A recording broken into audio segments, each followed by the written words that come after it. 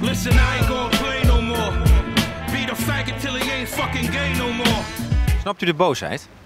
Ja, in principe snap ik de boosheid wel. Ik denk alleen dat het niet terecht is bij deze band. De hip-hopcultuur eh, die, eh, is nogal strijdvaardig. En eh, eh, heeft kritiek op de samenleving, op allerlei onderdelen daarvan. Blijkbaar ook tegen homo's. Kan dat wel?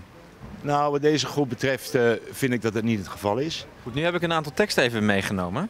Punch a faggot till his nose bleed heavy. Dead them all, then I escape in green Chevy. Is niet zo netjes, hè? Nee, dat kan niet, vind ik.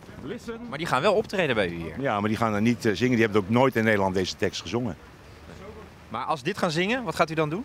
Nou, kijk, dat, dat, ik ga ervan uit dat ze dat niet doen. Dat hebben ze nooit gedaan. Waarom zouden ze nu wel gaan doen? Als ze het wel doen, want ze hebben het ooit geschreven. Ik heb al gezegd bij eh, AT5 eergisteren, als ze dat zouden doen, dan hebben ze voor de laatste keer in de Melkweg opgetreden. En ik denk in Nederland.